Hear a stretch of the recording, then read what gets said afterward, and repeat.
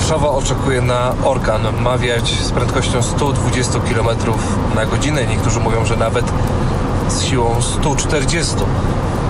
Jeszcze kilka godzin, zanim ten niż wkroczy do Polski centralnej, ale już czuć aktualnie, podróżując nawet samochodem, czuć, że w powiewie wiatru raczej do umiarkowanych nie należą i że faktycznie coś złego się szykuje. Bardzo e, spadło ciśnienie przez ostatnie 3 godziny i zanurkowało poniżej 990 hektopaskali, co mogą odczuć meteopaci.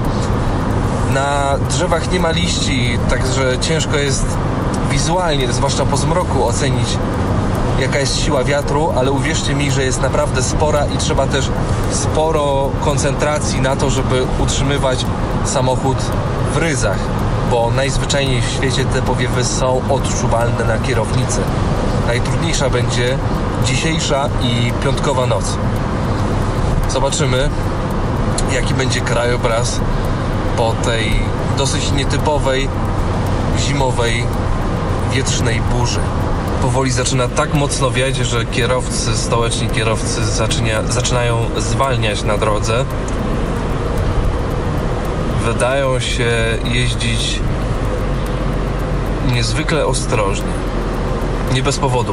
Naprawdę tego typu mocne, porywiste podmuchy, podmuchy wiatru odczuje każdy właściwie na kierownicy. Nieważne czy jest to mały Yaris czy duży tir.